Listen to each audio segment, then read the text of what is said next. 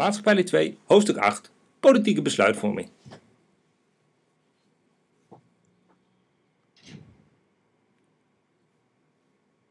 Politieke besluitvorming kent vier fasen.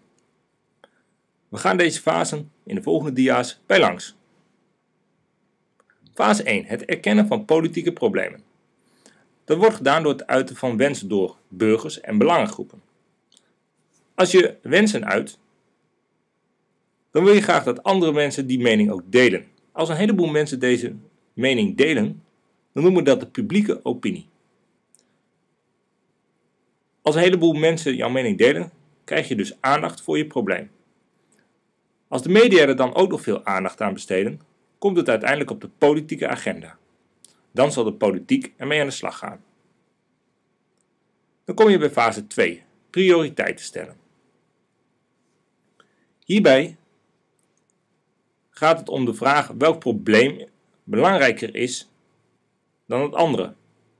Dus wat los, dus wat los je als eerste op?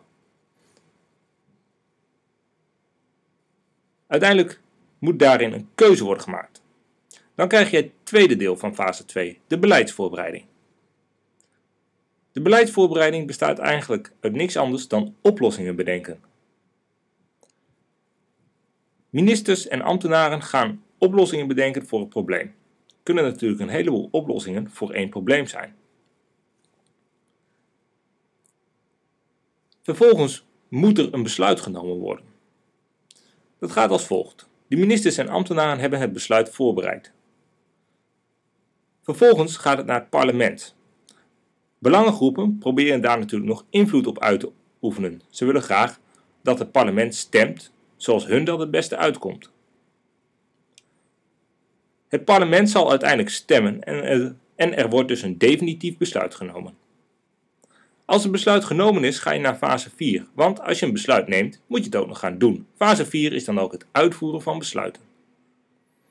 Ministers zijn verantwoordelijk voor het uitvoeren van het beleid.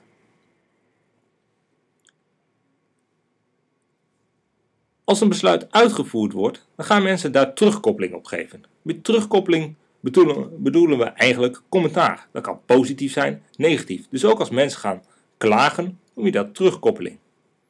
Eigenlijk is een klacht ook weer het uiten van een wens. Terugkoppeling is fase 5. En omdat je daar wensen gaat uiten, ga je dus eigenlijk weer terug naar fase 1.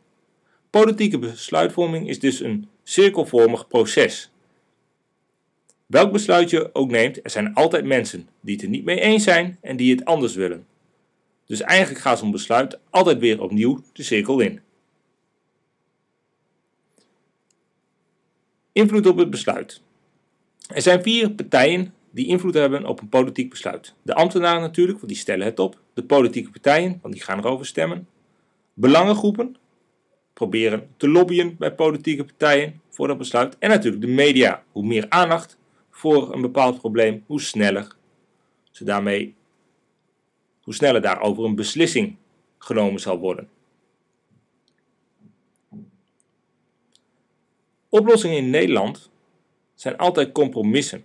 Dit komt omdat geen één partij alleen de meerderheid heeft in de Tweede Kamer. Dus geen één partij kan in zijn eentje een besluit nemen. En als je samenwerkt, moet je altijd wat toegeven.